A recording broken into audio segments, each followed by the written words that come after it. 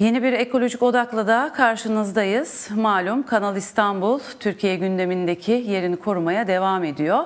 Ama e, Türkiye gündeminde çevre meselelerini ilgilendiren ekolojiyi, iklimi, enerjiyi hatta sofralarımızı doğrudan ilgilendiren bazı başka gelişmeler de var. Bu hafta Ekolojik Odak'ta onlara yer vermek istiyoruz. Ee, hem doğaya hem de insana e, zarar veren tarım zehirlerinin kullanılmasının yasaklanması yönünde bir takım çalışmalar var. Bu konu zaman zaman gündeme geliyor. Dünyada da farklı bir takım şirketlerin ürettiği tarım zehirleri diye e, tabir edilen pestisitlerin kullanımının yasaklanması ve bu pestisitler kullanıldığı zaman insan sağlığına, doğaya, diğer canlılara ne tür zararlar verdiği yönünde pek çok çalışma yapılıyor. Türkiye'de de bu konuyla ilgili 100 civarında farklı sivil toplum kuruluşu ve inisiyatif bir araya gelerek gelerek sivil toplum e, zehirsiz sofralar sivil toplum ağını oluşturdu ve birkaç ay önce de bir kampanya başlattı. Zehirsiz sofralar e, kampanyası. Temel olarak bu tarım zehirlerinin e, içinde bulunan 13 etken madde temel olmak üzere bu tarım zehirlerinin yasaklanması yönünde Tarım ve Orman Bakanlığı'na yaptıkları bir çağrı var. E, taleplerinin dikkate e, alınması ve e, bu tür pestisitlerin kullanımının yasaklanması yönünde e, çağrıları var, talepleri var. Bununla ilgili bakanlık da incelemeler başlattığını e, duyurdu. E, genel olarak e, aslında insan sağlığına verdiği zararlar e, biliniyor. E, bunlar e, pek çok e, çalışmayla ortaya kondu. Genel olarak insanın e, sinir sisteminde ve hormonal e, sisteminde bazı e, hastalıklara e, sebep oluyor ve bazı tahribatlara e, sebep oluyor. Yine aynı e, şekilde başta arılar olmak üzere ekosistem üzerinde de çok ciddi etkileri var. Şimdi e, bütün bu gıdamızın neredeyse tamamına yakının yakınının topraktan geldiğini düşündüğümüzde aslında ne yediğimiz, sofralarımıza neyin geldiği, önümüze neyin konduğu çok önemli. Dolayısıyla bu hafta biz ekolojik odakta bu konuya yer verelim ve bu kampanyanın detaylarını e, öğrenelim istedik. Bu hafta Ekolojik Odak'ta stüdyo konuğum Zehirsiz Sofralar İletişim ve Kampanya Koordinatörü Turgay Özçelik. Hoş geldin Turgay Merhaba, yayınımıza. hoş buldum. Teşekkürler. Evet ben çok kısaca e, aktarmaya çalıştım. E, biz e, buna benzer programları daha önce de yaptık ama e, zaman zaman tekrar e, gündeme getirmek ve gelişmeleri e, aktarma e, ihtiyacı duyuyoruz. Çünkü gerçekten hepimizi ilgilendiren dünyadaki belki de 7,5 milyar insanı doğrudan ilgilendiren e, belki de birkaç e, konudan birisi bu. E, gıdasız, susuz yaşam mümkün değil ama ne yediğimizde çok önemli ve gitgide de e, iklim krizinin de etkilerini yaşadığımız bir dünyada ne yediğimiz gitgide önem kazanan e, kritik bir konu olarak karşımızda duruyor.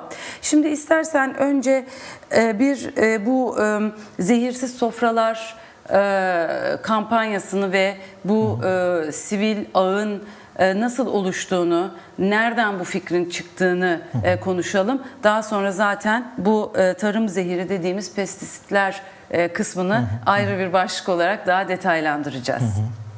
Ee, sen de söyledin Pelin, e, yani pestisitler e, tarım ilacı olarak biliniyor aslında Türkiye'de. ilaç deniyor. Ama aslında zehir bu. E, çünkü yok etmek, öldürmek için kullanılıyor. Hedefledikleri bazı şey canlılar, böcekler, yabancı otlar, mantarlar, bir takım hastalıklar, yani tarım ürünümüze zarar veren bir takım organizmaları öldürmek için, yok etmek için kullanılıyor. Aslında zehir. E, ve bu zehirler e, insanlık için e, bir halk sağlığı problemi. Hatta çok önemli bir halk sağlığı problemi. Sadece insanlık için de değil, yani diğer ekosistem için, diğer canlılar için bir yaşam problemi bu. Ee, öyle ki e, dünyada şu an 3 milyon ton bunun kullanım oranı. Giderek her geçen yıl artıyor. Türkiye'de son 4 yılda %51 arttı pestisit kullanımı. Yani e, kanser vakalarının artışını, e, arıların yok oluşunu hani birlikte gözlemlediğimiz zaman, bütüncül baktığımız zaman bunun ne kadar önemli bir sorun olduğunu görüyoruz. Evet. E, biz de bu önemli sorunu biraz e, kamuoyunun fark, farkındalığını yaratmak bu konuda, pestisitlerin zararları konusunda farkındalık yaratmak ve Türkiye'de pestisit kullanımı azaltmak için böyle bir hedef koyduk kendimize. Bir proje hazırladık, Zehirli Sofralar Projesi. Ee, ama bu öyle bir e, hale geldi ki aynı iklim krizinde olduğu gibi e, olduğu gibi bir an önce harekete geçmek gerekiyor. Bir an önce bir şeyler yapmak gerekiyor. Bunu da tek başımıza yapmak istemedik açıkçası Buğday Derneği olarak ve bir çağrıda bulunduk diğer kurumlara.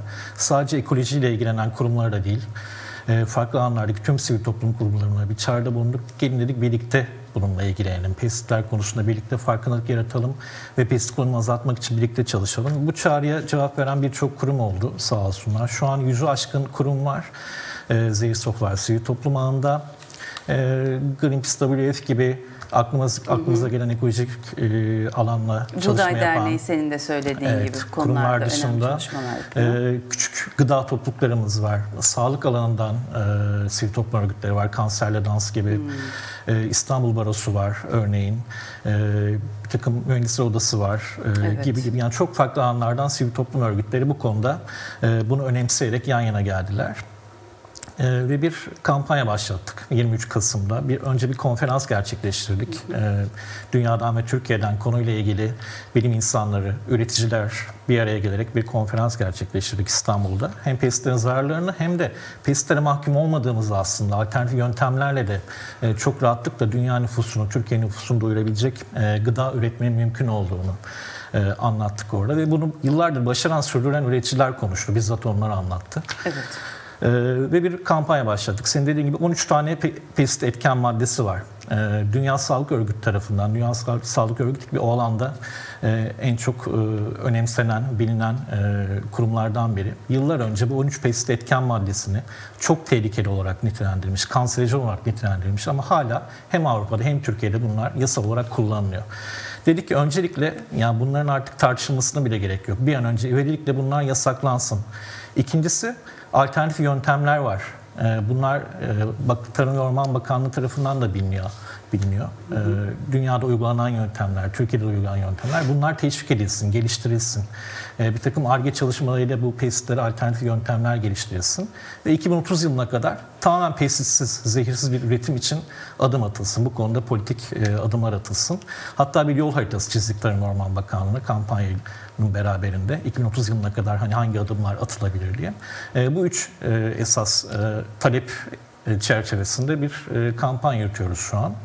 E, Change.org e, sitesi üzerinden change.org slash sofralar e, adresinden girip destek vermek isteyen varsa buradan destek verebilirler. Evet.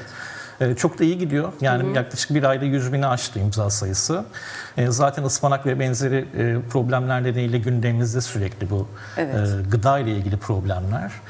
E, Yani kamuoyunda da bu e, kampanya biraz karşılık bulmuş durumda. Onun etkisi olmuştur Evet. diye düşünüyorsunuz değil mi? Evet O mutlaka. ıspanakla Ee, orada ilgili. yabancı ot olarak açıklandı problemin kaynağı. Evet. Ee, orada da biz e, açıklamıştık aslında. Yani evet orada problem gerçekten olabilir. Ama biz yıllardır e, aslında o ıspanaklarda o zehri yiyoruz zaten. Kaldı ki o yapılan analizlerin tam olarak sonuçları açıklanmadı. Belki içinde pestisit de var. E, tam emin değiliz. E, yani kamuoyunu vicdanını rahatlatan e, tam olarak bir açıklama yapılmış değil. E, İyi gidiyor kampanya. Bakanlık gündemine de geldi. Evet. Ee, yani yasaklanması istediğimiz 13 etken maddenin e, yasaklanmasına dair hatta 41 madde olarak genişletmişler listeyi. Bakanlık kendisi genişletmiş. Evet, üniversitelerden bir görüş talep etmiş. Ee, bu konu e, yasaklanmasına dair görüşlerini istemiş. Ee, bunun da bakanlığın gündemine gelmesi çok sevindirici bizim açımızdan. Ee, tabii hani e, ne olur sonucu bilinmez. Yani o kadar bariz gerçekler var ki hani bunların yasaklanıp yasaklanmamasına dair hani görüş e, almak elbette bilim insanlarının görüşünü almak önemli ama Elbette. hani yıllardır bunların etkileri zaten bilinen e, Dünya Sağlık Örgütü tarafından açıklanan çeşitli e, dünyanın farklı bölgelerinde yapılan araştırmalarla açıklanan, kanıtlanan gerçekler e, en azından şu an için hani gündeme gelmesi bile bizim için sevindirici. Evet. Peki bu 13 etken maddeyi belki biraz daha e, açacak olursak bu acele yasaklanmasını istediğiniz e, 13 etken madde ve tabii bunun e, belki biraz daha e, insan ve e, doğaya e, zararları e, kısmını biraz daha açabiliriz.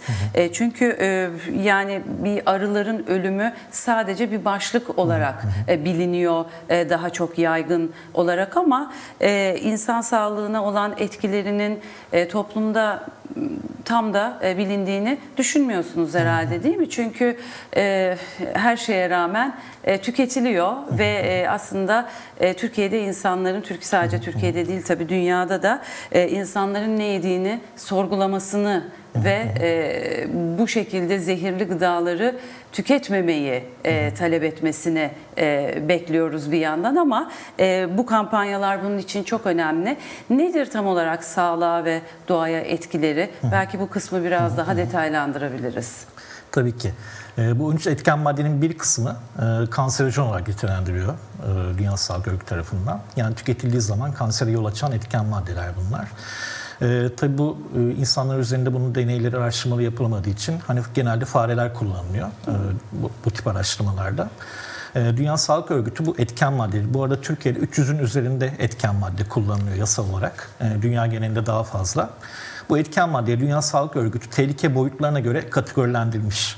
Ee, bir gruba çok tehlikeli demiş, bir gruba yani tehlikeli demiş, bir gruba kanserojen demiş, bir gruba olası kanserojen demiş. Biz en yüksek 3 seviyedeki e, listelere baktık. Türkiye'de hangileri kullanılıyor? Çok tehlikeli, yüksek tehlikeli ve kanserojen olanlar. Bu 13 etken maddeyi öyle tespit ettik. Hani neden hmm. 300 tanesi değildi hani bu 13'ü evet. diyecek olursak. Bunların bir kısmı doğrudan insan sağlığına zarar veriyor. Bir kısmı e, hormonal sistemi bozucu pestisler var, etken maddeler var. E, bunlar özellikle çocuklarda ve anne karnındaki bebeklerde e, inanılmaz hani büyük zararlar veriyor. Çünkü e, büyüme çağındaki canlıları, gelişme çağındaki canlıların sinir ve hormon e, sistemine zarar veriyor. E, bir kısmı hormon sistem bozucu pestisler, bir kısmı e, çevre açısından toksik e, hmm. etken maddeler. Sizin dediğiniz gibi arılara zarar veren etken maddeler. E, arılar ki hani e, aslında bu sivil toplum ağının ilk adımı da e, arılar üzerinden olmuştu. Bir önceki yıl Greenpeace'in öncülüğünde 11 kurum yan yana gelip arılara zarar veren neonikotinit isimli etken maddenin yasaklanması hmm. için bir e, birlikte bir açıklama yapmıştık. İlk adımlar orada atıldı diyebiliriz. Bu neonikotinitler yasaklandı o girişimden sonra. Gerçi kısmi bir yasak getirildi, tamamen yasaklanmış değil. Ama arılar adına sevindirici bir haberdi. Evet. E, gıdamızın üçlü ikisini bu arılar sayesinde biz yiyoruz aslında. Tozlaşma denen şey arılar ve uçucu böcekler sayesinde gerçekleşiyor. Ee, ve bu kullanılan pestisitler, etken maddeler arı popülasyonunu toplu ölümlere yol açacak şekilde nüfusun azalmasına neden oluyor. Ee, yani doğrudan arıların e, ölmesi, sayıların azalması, Türkiye'de de geçtiğimiz yıllarda görmüşsünüzdür. Evet. Bazı bölgelerde hani haberlerini görüyoruz. Toplu arı ölümleri yaşanıyor, koloni ölümleri yaşanıyor. Hı hı. Ki Arıcılar Birliği de e, sivil toplum ağımızın üyesi bu arada. Evet. E, gerçekten ekosistem adına özellikle hani insan merkezi düşünecek olursak yine bizim açımızdan da çok önemli bir problem arıların ölmesi. Çünkü gıda güvenliğimiz açısından bir tehlike e, arz ediyor.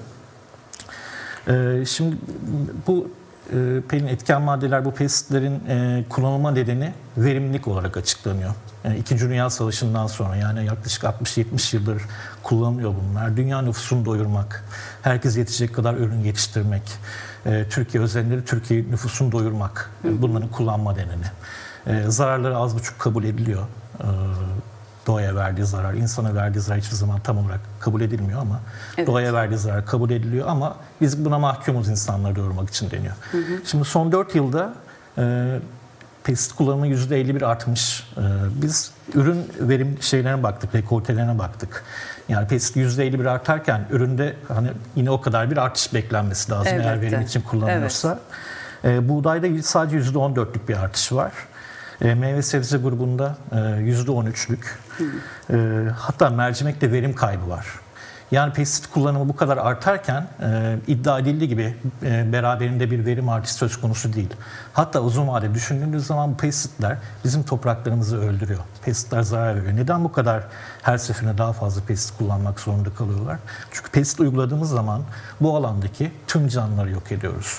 E, ürünüme zarar veren böceği de öldürüyorum ben ama ürünüme fayda sağlayan oradaki mikroorganizmaları da öldürüyorum.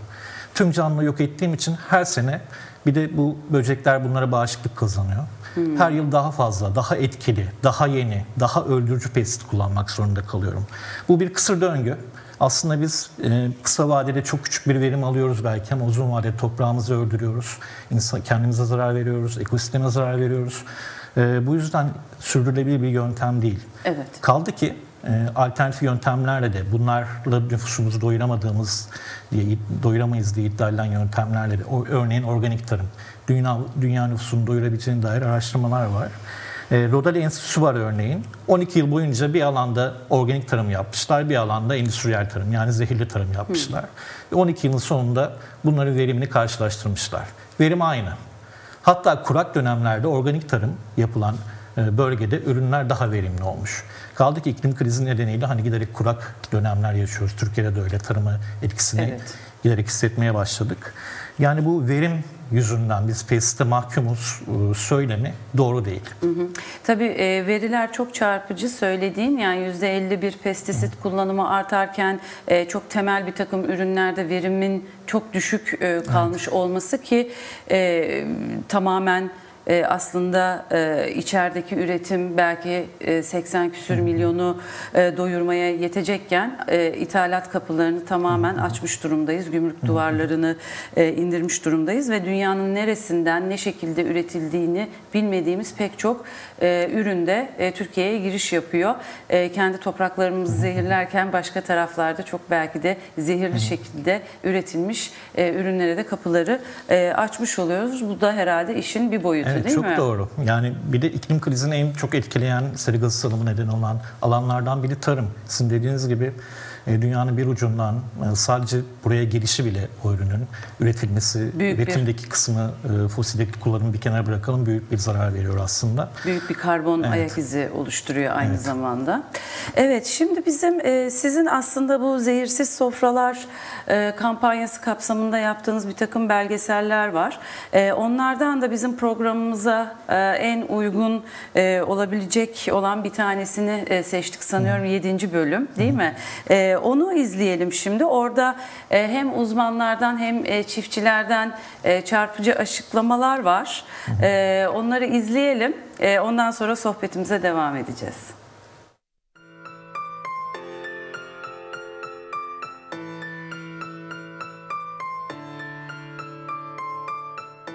Türkiye'de tarım ilaçları olabildiğince kontrolsüz ve bilinçsiz kullanılıyor.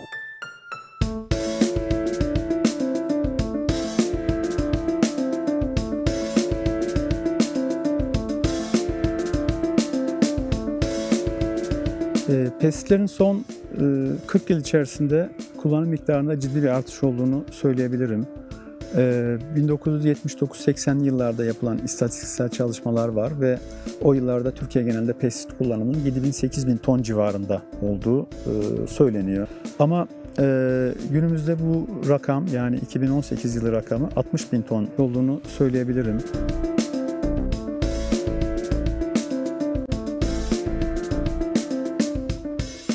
İlaç diye bahsettiğimiz şeyler işte hastalıklara karşı iyi gelmesi için kullandığımız maddeler değil birçok şey ilaç. Ama bu bu ilaç değil. Bu bir zehir.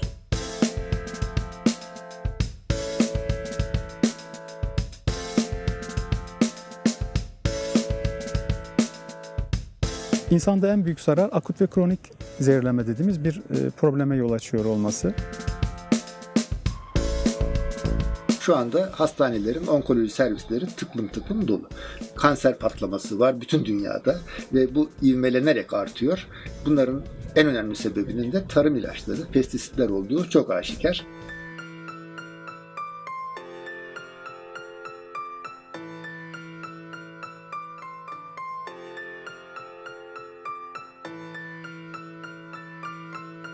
Ee, sadece insan sağlığı için değil hem genel doğanın sağlığı, doğada yaşayan insan dışındaki diğer canlılara da büyük e, olumsuz etkisi var, ciddi olumsuz etkileri var. Köylüler diyorlar ki yılanı öldür. Hayatta öldürmem. Çünkü yılanı öldürdüğümüz zaman fare popülasyonu artacak. Arttığı zaman bana ilaç kullandırmaya çalışacaklar. Yani bu böyle bir döngü aslında. Sonuçta biz doğanın dengesine saygı duyarsak e, o kadar güzel bir denge ki bunu koruyabilirsek. Çünkü her şey birbiriyle uyumlu. Biz burada yokken de bunlar vardı. Biz buraya geldik onlar yine var ve var olmaya da devam edecekler.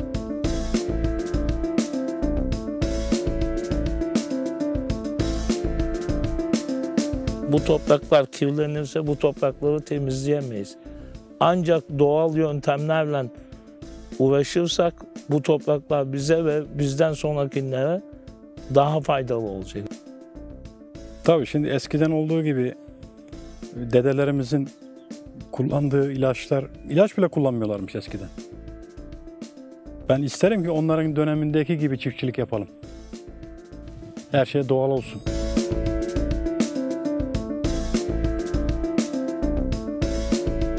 Neden organik tarım yapıyorum? Bu benim için bir felsefe. Bu bilinci aldıktan sonra kendi çocuğuma ne yedirmek istiyorsam Türk halkının çocuğuna da onu yedirmek istiyorum. Şimdi e, zehirsiz e, tarım tüm ülkemizin hakkıdır. Ya şimdi organik tüketen, ilaçsız tüketen, ilaçsız yiyor. Öbür türlü e, normal tarım ilaçlı yiyor. Bu ayrımcılıktır. Ya organik tarım böyle bir şey olmaması lazım. Herkes ilaçsız tarımın ürünlerini sofrasında gönül ferahlığıyla tüketecek. Doğrusu düzgünü budur zaten.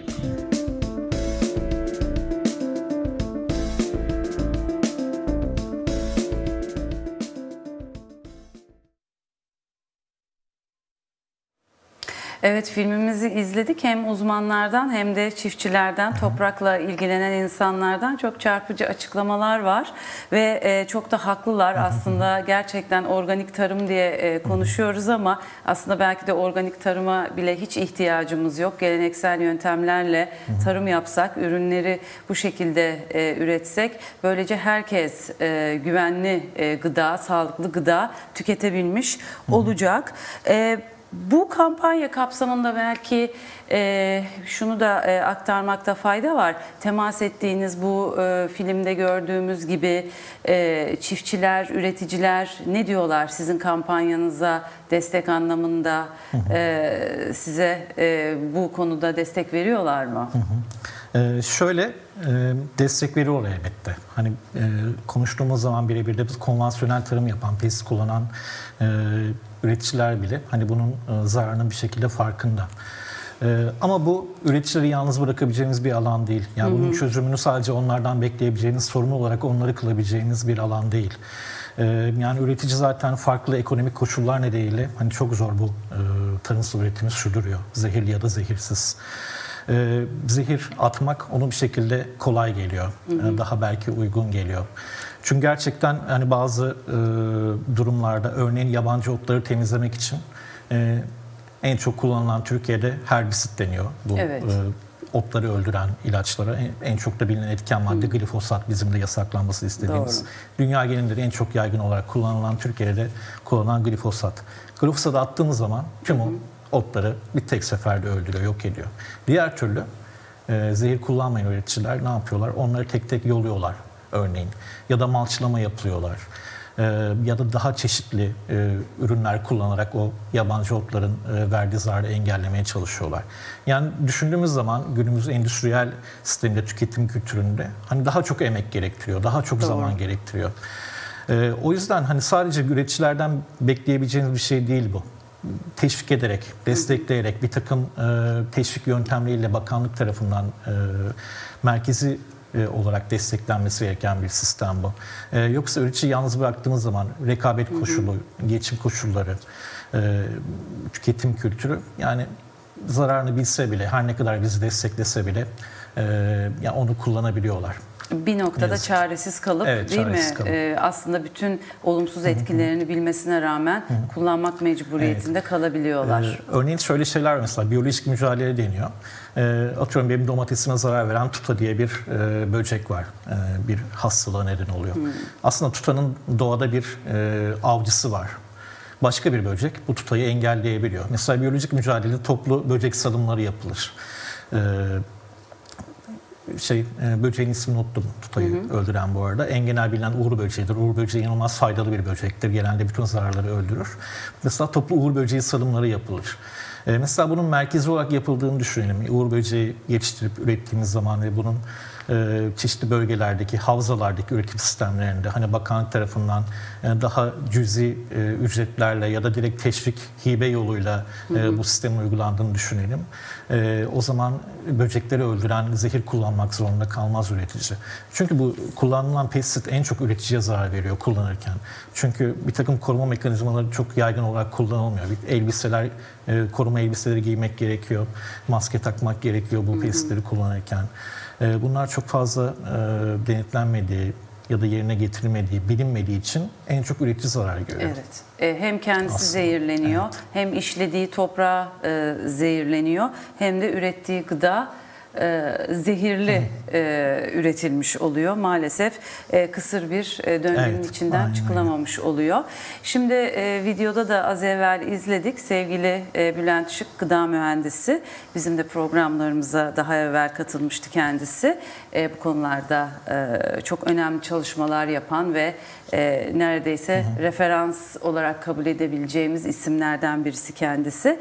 E, biz aslında bugün e, Zehirsiz Sofralar kampanyasını ve e, bütün bu pestisit meselesini konuşmaya e, karar verdiğimizden e, sonra bugün e, Greenpeace Akdeniz'le birlikte Bülent Şık'ın e, birlikte yapmış oldukları bir e, çalışma e, yayınlandı.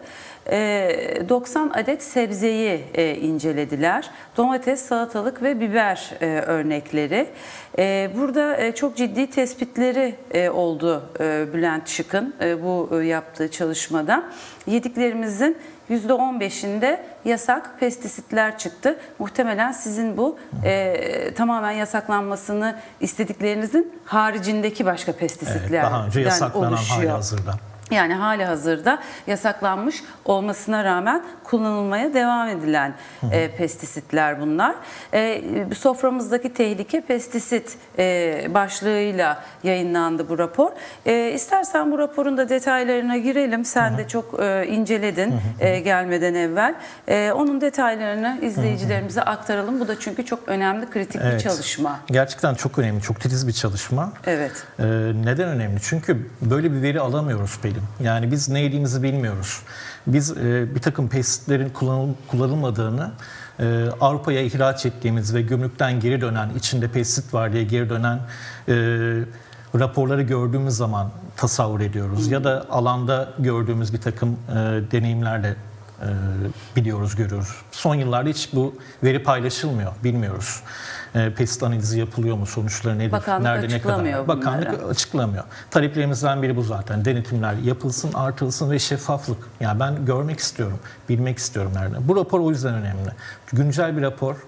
Ee, 2019 yılının son Çok aylarında yeni, çok evet. yeni ve şu an hani en yakın e, referans verebileceğimiz rapor pestisitlerle ilgili bu. Evet. Ve çok e, inanılmaz büyük bir e, tehlikeli bir tablo e, gözümüz önüne seriyor. Farklı aylarda yapılmış bu analizler. Ağustos ayında bir 30 grup alınmış, Ekim ayında ve Kasım ayında.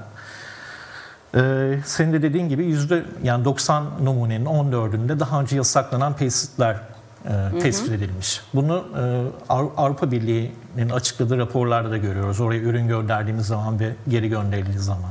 Örneğin klorpirifos diye bir etken madde var. Bundan 5 yıl önce yasaklanmış Türkiye'de. Ama hala e, bu Türkiye'den giden ürünlerde bu etken maddenin kullanıldığını görüyoruz. Rusya ile de Evet, çok Bülent sık Şık da çok ilk yaşıyoruz Evet. bu sorunu. Evet. Ee, Bülent Hoca da çok şık, e, çok sık bu- bununla ilgili yazıyor. Çünkü klorpirifos hormon sistemi bozan pestisitlerden en tehlikelisi. Özellikle çocuklar ve bebekler için, e, anne karnındaki bebekler için çok tehlikeli. E, Kaldı ki bu arada e, bir takım araştırmalar yapılıyor. Örneğin e, anne sütünde, e, bebeğin kordon bağında, bebek mamalarında bile pestisitler e, çıkıyor. E, Karşılaşıyoruz. Yani bebeklerin e, karşılaştığı tehlikeyi düşünebiliriz. Evet. Ee, bu 90 e, sebzenin Greenpeace'in açıkladığı raporda 48 tanesinde bu hormon sistemini bozan pestisitlere rastlanmış. Neredeyse yarısından fazlası. Ee, bunlar bir de pes, e, kokteyl etkisi denen bir şey var Pelin. Şimdi bu e, tek tek bu etken maddelerin neye zarar verdiğini bilebiliyoruz. Bununla ilgili araştırmalar yapılıyor. Ama bunların iki tanesi, üç tanesi yan yana geldiği zaman neye yol açacağını henüz bilmiyoruz. Bununla ilgili bir araştırma yapılmış değil. Yani bunun e, bilimsel bir şey yok, ölçeği yok. Örneğin bu Greenpeace'in raporunda bir biberde Kasım ayında numunesi alınan bir biberde 11 tane e, pestisit etken maddesi çıkmış. Tek 11 bir tane birden. Evet.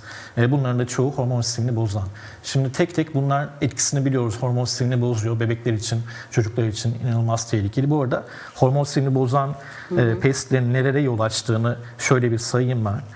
E, düşük IQ, hiperaktivite, astım, obezite, erken ergenlik, meme kanseri, e, kadınlarda düşük ihtimali, erkeklerde düşük sperm sayısı, tiroid bozuklukları, diyabetler, obezite gibi yani çok farklı skalalarda rahatsızlıklara neden oluyor. Tek tek bu etken maddeler.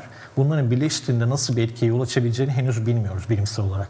Buna kokteyl etkisi deniyor. Evet. Son zamanlarda tartışılan, bilimsel olarak araştırılan bir durum. Bu da yeni bir kavram herhalde Evet. değil mi? Bu olumsuz etkinin bir arada Evet. nasıl bir insan vücuduna etki yarattığını henüz Evet, tam henüz olarak tam bilmiyoruz. olarak bilemiyoruz. Evet. Ee, gerçekten çarpıcı bir çalışma. Ee, daha var mıydı paylaşmak Evet, istediğin e, yine bu raporda dair? şöyle Tabii. bir gerçek öne çıkıyor. Farklı aylarda e, numune alıp analiz yapıldığını söylemiştim. Bakın Ağustos ayında 56 e, numunede pestisit çıkmış. E, 56 adet bu 90 sebzede 56 adet pestisit çıkmış. Ekim ayında 96 tane, Kasım ayında 139 tane. Yani biz mevsimsel tüketmediğimiz zaman normalde domates, biber, salatalık yaz sebzesidir. Kışın üretildiği zaman ekstra pestisit kullanılıyor. Çünkü e, doğası e, o mevsime uygun değil. Onu beslemek, e, onu daha verimli kılmak için daha fazla pestisit kullanılıyor. O yüzden mevsimsel beslenmek yani normalde her ay hangi ürün yetişiyorsa onu tercih etmek Mevsiminde. görece biraz daha az e, pestisite maruz kalmamız için bir vesile. Gerçi azı bile kötü bunun. Elbette. Öyle ki e, mesela normalde yasal olarak Türkiye'de uyulması gereken pestisitle ilgili bir takım kurallar var. Örneğin glifosat. Bir salatalıkta glifosat yüzde en fazla 0.01. Bu rakamı şu an hatırlamadığım için e, uydurma bir rakam veriyorum. E, Yüzde 0.01. Bunu aşarsa hani denetimlerde bir takım hani yasal e, şeyleri var, yaptırımları var. E, hani bunları uygulanıp uygulanmadığını elbette bilmiyoruz. Hani bu raporda bunun e, uygulanmadığını görüyoruz. Bazı etken maddeler için böyle bir e, kalıntı limiti bile konamayacağını söylüyor bilim insanları. Yani birikme yoluyla bunlar insan vücudunda e, belli bir takım zararlara yol açıyor. O yüzden yüzde 0.01 bile e, belki onun hani daha binde biri bile e, kullanılması, insan vücuduna girmesi zararlı. Çünkü birikerek o e, yol açtığı sağlık etkisi neden oluyor. Aynı şekilde diğer canlılar için de öyle. Kuşlar için öyle, arılar için öyle. Evet. Şimdi e, Bülent Çık'ın e, yaptığı çalışmadaki bu e, domates, salatalık ve biber örnekleri 5 büyük market ve bir semt pazarından alınmış. Dolayısıyla yani aslında bütün tüketicilerin, yurttaşların kolaylıkla erişebildiği, alışveriş yapabildiği yerlerden alınmış olması da bence buradaki en temel Ee, çarpıcı bir de ilginç verilerden bir, bir e, tanesi. tablo var orada. E, Tam rakamı şu an hatırlamıyorum. Belki senin elinde vardır. E, Marketlerden alınan numunelerde daha fazla pestisit çıkmış. Evet. Öyle bir ilginç e, veri de vardı. Grims'in açıkladığı raporda. marketlerden alınan örneklerin pestisit kalıntıları açısından pazarlardan alınan örneklere kıyasla %14 farkla daha fazla risk içerdiği görüldü. Evet. Evet, e, önemli tespitlerden birisi bu. E, şimdi peki e, bundan sonrasında kampanya nasıl ilerleyecek? E, yeterli bir farkındalık ve e, algı e, oluş- oluşturabildiniz mi yurttaşlarda, üreticilerde? E, Bakanlık bu konuda e, bazı çalışmalar istedi bilim insanlarından dedin. O kısmı önemli. Şimdi bu iş tabii tek bir kampanya, kampanya tabii çok değerli ama e, bu işin farklı noktalarda da belli bir zihinsel ve pratiksel değişikliğe e, gitmesi gerektiğini gösteriyor bize. Üreticiler, tüketiciler, e, yasal düzenleyiciler gibi ve satıcılar gibi belki en son noktada e, herkese sorumluluk düşüyor e, bu konuyla ilgili. E, Bundan sonraki belki farkındalık çalışmalarınız belli bir kitleye yönelik veya bu kitlelerin hepsine yönelik e, mi devam edecek? Nasıl ilerlemeyi düşünüyorsunuz? Ee, şöyle biz bu pestisitlerle ilgili çalışırken karşılaştığımız en büyük zorluk bilgi eksikliği. Bülent Hoca sağ olsun yıllardır bu konuyla ilgileniyor, yazılar, araştırmalar yapıyor ama Türkiye'de pestlerin zararları, pestler alternatif yöntemlerle ilgili derli toplu bir bilgi, araştırma, makale, kaynak yoktu. Ee, Bizim ilk sıkıntımız buydu. Ee, Hatta proje boyunca en çok zaman verdiğimiz kısımda dünya genelinde bir e, şey taraması, kaynak taraması, onları Türkçe'ye çevirmek Ee, ve Türkiye'de bu konuyla ilgilenen e, zararlarını öğrenmek isteyen ya da alternatif yöntemler nedir? Üretici, hani bilmek isteyen üretici için bu e, e, yöntemleri anlatan bir kaynak oluşturmaktı. E, bu belgeleri Türkiye için önemli olabilecek, kullanabilecek belgeleri Türkçe'ye çevirerek, Türkiye'de kullanılan bilgileri e, derleyip toparlayarak bir web sitesi oluşturduk şu an. E, Zehirsoflar.org. Burada hem pestitlerin zararlarını görebiliyoruz, dünya genelinde yapılan önemli araştırmaları görebiliyoruz. Hem de alternatif yöntemler nedir? Yani ben bir üreticiyim, evet zehir kullanmak istemiyorum. Domates yetiştiriyorum. Yani domateste peki zehir kullanmadan hangi yöntemle bunu yapabilirim? E, bu siteden bunu öğrenebiliyoruz. Daha da geliştirecek bu arada site. Ee, onun dışında bir belgesel çektik. Az önce de izledik. 16 Evet. bölümlük bir belgesel. Bu belgeselde hem pestitlerin zararları anlatılıyor bilim insanları e, tarafından. Hem de e, az önce söyledim alternatif yöntemler kullanan üreticilerle konuştuk. Yani hangi yöntemleri kullanıyorsunuz? E, ve başarılı oluyorsunuz gerçekten. Yıllardır bu işi sürdürüyorsunuz. Kaldı ki çok farklı yöntemler var. Yani organik tarım bunlardan en bilineni, en yasal olanı. E, permakültür, doğal tarım, e, biyodinamik tarım gibi çok farklı yöntemler var. E, biyolojik mücadeleyi söyledim hani böcek kullanarak müca- fiziksel e, mücadele var, kimyasal mücadele var. Burada kimyasal hani doğal kimyasallardan bahsediyorum. E, çok farklı yöntem var. Hani bu yöntemleri bilmek gerekiyor. Yani bu bunun bilgisi var ama dağınık bir bilgiydi. Evet. Türkiye'de çok fazla olmayan bir bilgiydi. E, biz bir zemin hazırladık diyeyim. Yani bir kampanya yürütüyoruz şu an. Ama bundan sonra pestislerle ilgili e, çalışma yapacak. E, umarım sivil toplum ağımız kalıcı olacak ve bu konuda genel olarak da gıda güvenliği ile ilgili çalışmaya devam edecek. Bir zemin hazırlamış olduk biz bu pestislerle ilgili. Bülent hocamızın da danışmanlığında. Bu konuda bilgi üretmek, çalışmak, bir şeyler yapmak isteyen insanlar için bir zemin hazırladık. Ee, Türkiye gündemi çok yoğun. Sen de söyledin. Kanal İstanbul'u konuşuyoruz Evet. günlerdir İstanbullular olarak. Kaldı ki pek çok farklı yine ekolojiyi ilgilendiren e, problem var. Bunca sorun içerisinde pestislerle ilgili e, aldığımız karşılık, feedback, imza sayısı bu e, gündem kalabalığı içerisinde bence gayet iyi. İyi bir başlangıç diyeyim. Uyandırdığı etki de e, şu an memnunuz. Umarım sonuç da alacağız. En azından talep ettiğimiz 13 etken madde için sonuç da alacağız. E, hani başarısız da olabilir. Bu hiç önemli değil. Bu kampanyanın önemli başarısı bence hem bu uyandırdığı etki, farkındalık hem de sivil toplum örgütlerinin birlikte çalışma süreci, pratiği olacak. Evet. Ee, daha önce yan yana gelmemiş, birbirini tanımayan. Yani genelde e, hangi alanda olursa olsun genel sorunumuz bütüncül bakamamak. Herkes belli problemi çok önemli sayıp sadece onunla ilgileniyor. Sadece iklim çalışan, sadece LGBT haklarını çalışan, sadece kadın haklarını hepsi önemli. Bütüncül bakmak gerekiyor. Hepsi bizim problemimiz. E, temas halinde olmamız gerekiyor bu alanlarda çalışan sivil toplum örgütleri olarak. Yardımlaşmamız gerekiyor. Ee, örneğin gıda güvenliği yani sağlık örgütleriyle, sağlık konusunda çalışma yapan sivil toplum örgütleriyle bu alanda e, onlara danışmadan söz söylemek özellikle pestislerle ilgili yani düşünülemez bile. O yüzden bir çalışma yapacaksak elbette onlar da olacaktı. Bunun insan hakları boyutu var. Elbette hukukçular da olacaktı. Ee, o yüzden bu dayanışmanın kalıcı olması bu kampanyanın en büyük getirisi olacak. Hani sonuç ne olursa olsun. Evet, e, yani 100 tane farklı e, sivil toplum kuruluşunu, inisiyatifi e, bir araya getirmek kolay değil. Tabii bir kampanyayı da bir arada e, yürütmek kolay değil. O açıdan e, gerçekten önemli bir iş yapıyorsunuz. E, şimdi tabii zehirsizsofralar.org sitesinden e, bilgilenme, özellikle üretim e, modelleri açısından e, farklı alternatif, daha temiz, daha sağlıklı bu pestisitleri kullanmadan bu bilgileri oradan alabilir e, izleyicilerimiz, ilgilenenler. E, 16 tane e, oldu dedin değil mi e, belgeseller, filmler? 16 bölüm. Onları Ee, nereden izleyebilirler? Zehir Sofra'nın YouTube hesabından, YouTube kanalından Zehir Sofralar diye aratarak e, ulaşabilirler. Yine farklı sosyal medya araçlarında yine Zehir Sofraları bulabilirler e, web sitemiz dışında. E, bu belgeselleri oralarda da paylaşıyoruz. E, şu an 8 bölümü internette, YouTube'da yayınlandı. Her hafta bir bölümün yeni bir bölüm ekliyoruz. E, daha sonra bu bölümler bittiği zaman uzun metraj olarak da e, ayrı bir kurgu yapılacak ve bir takım film festivallerine falan gönderilecek. Güzel. Yani daha kısa versiyonları sosyal medyada dönüyor. E, yani kullanabildiğimiz her imkanı kullanmaya çalışıyoruz insanlara ulaşmak, derdimizi anlatmak için. E, bu belgesel İmza dışında da- kampanyası devam Evet, ediyor. imza kampanyası devam ediyor. Tekrar hatırlat- hatırlatayım onu izninizle. Change.org slash zehirsiz sofralar. Zehirsofralar.org sitesinden de yine imza kampanyasına ulaşabilirler. Şu an 118 bine ulaştı imza sayısı. Ee, ve görünürlüğü de kampanyanın e, sizin gibi e, değerli basın e, çalışanlarımız sağ olsunlar onlar da destek veriyorlar bu kampanyaya. Çünkü hepimizin sorunu gerçekten.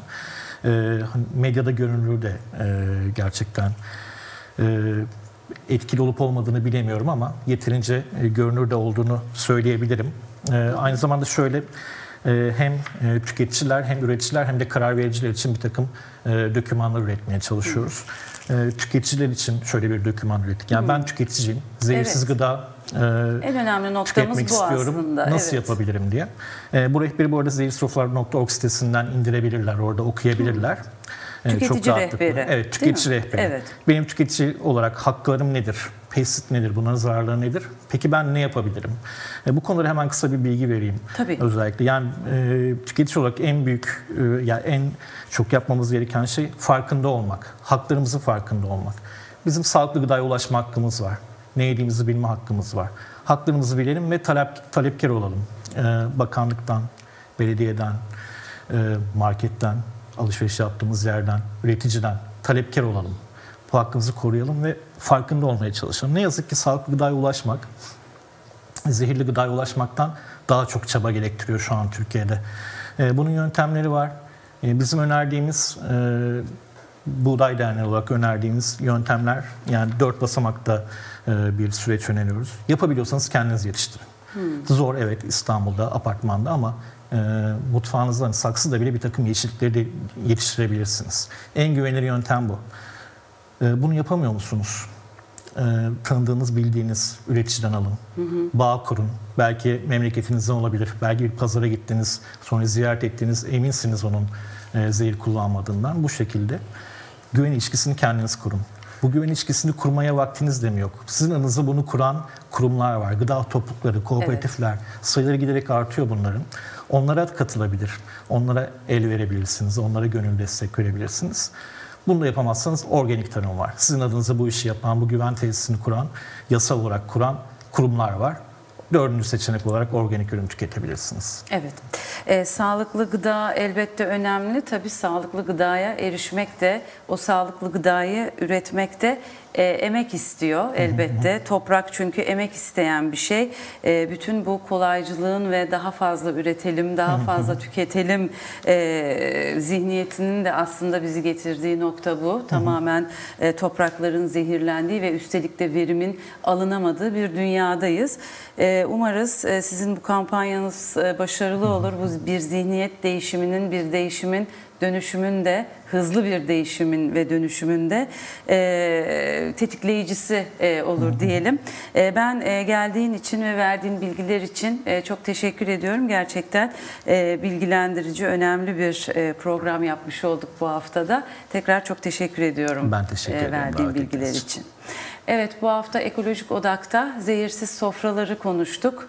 Gıdaya erişimde, güvenli gıdaya erişimde, sofralarımıza gelen e, gıdada sağlıklı olması, güvenli olması meselesini konuştuk. Tarım ilaçlarının bu kadar yoğun e, kullanıldığı bir dünyada ve e, ülkemizde neler yapmamız gerektiğini e, konuştuk. Gıda çok önemli. Dediğimiz gibi çok temel bir insan için ürün diyelim. E, bütün canlılar için aynı zamanda toprağa atılan e, bütün o e, zehirler sadece bizi değil bizim dışımızdaki bütün canlıları da olumsuz etkiliyor. Bunu da bu şekilde unutmadan bundan sonraki günlerde daha sağlıklı gıda konusunda hassasiyet gösterilmesini umalım. E, bu hafta konuğum Zehirsiz Sofralar İletişim ve Kampanya Koordinatörü Turgay e, Özçelik'ti. Tekrar çok teşekkür ediyorum verdiği bilgiler için. Bu hafta da programımızı sonlandırıyoruz. Haftaya görüşmek üzere.